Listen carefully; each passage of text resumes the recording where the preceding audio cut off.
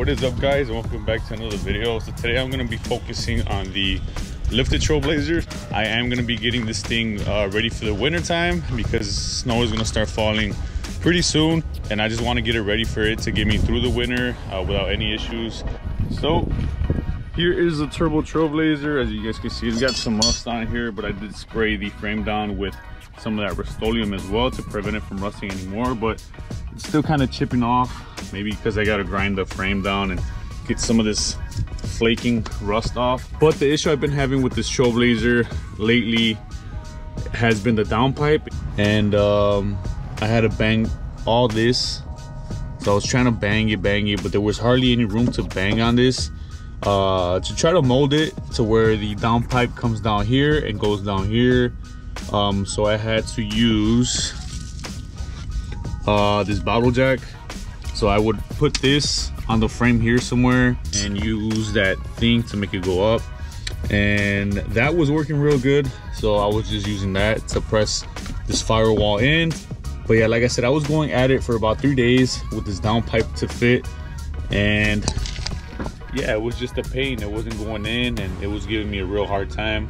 So I have some bad news and some good news for this build. So the bad news is uh, that this turbo project is gonna have to wait till the springtime because the snow is gonna start falling anytime soon. And the good news is that I am gonna throw uh, OEM manifolds, like I said, the headers, um, and that's gonna allow me to, you know, turn it on uh, during the wintertime, um, drive it, you know, back and forth, just to get it moving. Um, and yeah that should be uh, the good news and then the other good news is that i have the lifted trailblazer uh, for me to work on and keep me busy during the winter time and the thing about these lifted trucks you really don't need a jack to get under here so that's the good thing. So right now i'm just gonna go ahead and get the shield off right now and go ahead and drain the oil right here this plug right here and then get the filter off as well and then throw the new filter on and then just fill it up with oil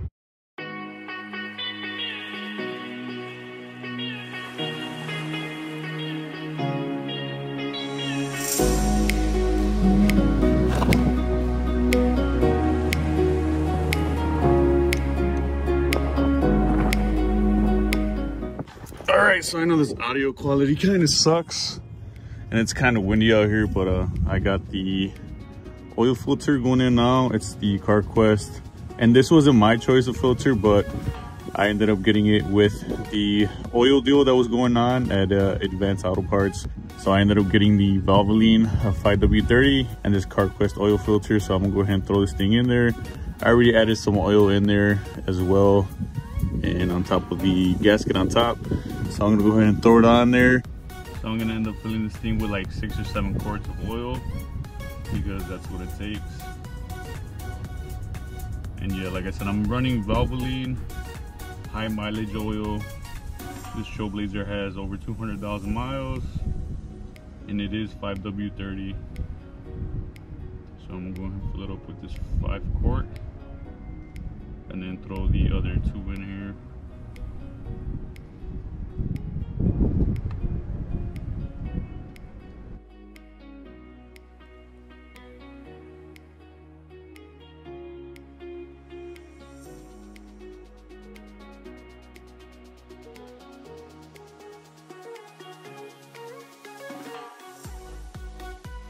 What I'm gonna do is just change the air filter on here. Um, this is the one I got. I ended up getting the Fram filter and then I still have to change the wipers on it and uh, throw some of this windshield washer fluid and we'll go from there.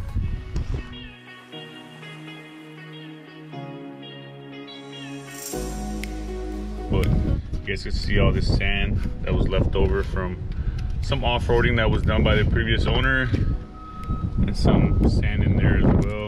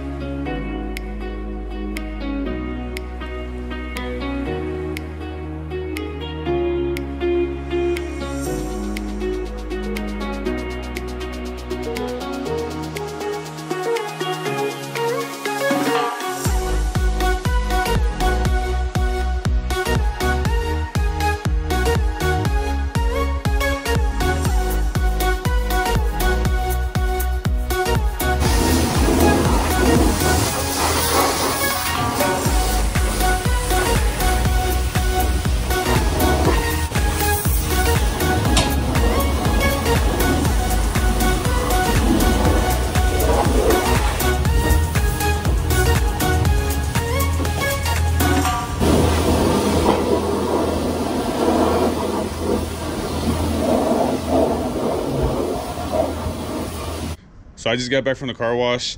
I ended up spraying the frame down as much as I could um, to remove any grease, oil that was on there. So I'm just gonna go ahead and get on the truck and just spray it. And this should be the last step to winter proofing my Trailblazer for the winter time. I know I'm gonna need more than two cans of that Rust-Oleum spray to undercoat the whole frame. But for now, I'm just gonna see how much those two cans can cover up. And yeah, I'm just gonna go ahead and go into the truck and just get that started.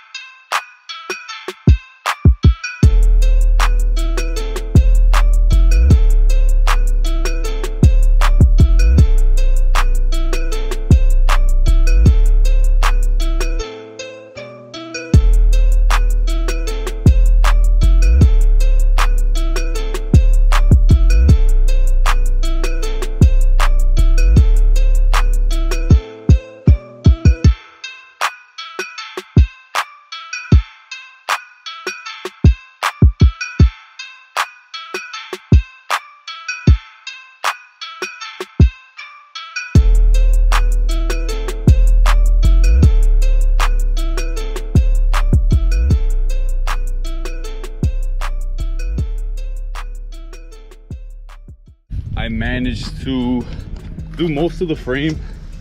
So this is the driver's side. So this is how the rear is looking. And this is the passenger side. So pretty much that wraps everything um, I did for the Trailblazer to try to winterproof it for this winter coming up.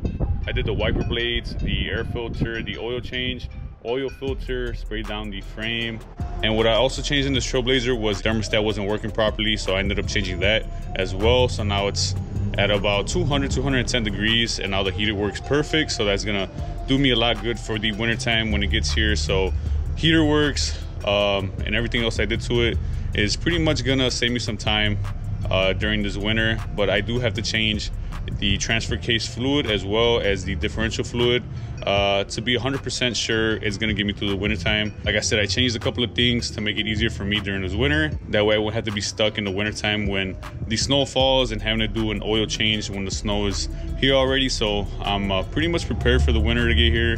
And yeah, this thing is 4x4 and it should get me through the winter or any blizzards that come my way in Chicago. So yeah, that pretty much does it for this video, guys. So I'm gonna go ahead and wrap this video up and I'll catch you guys again next time.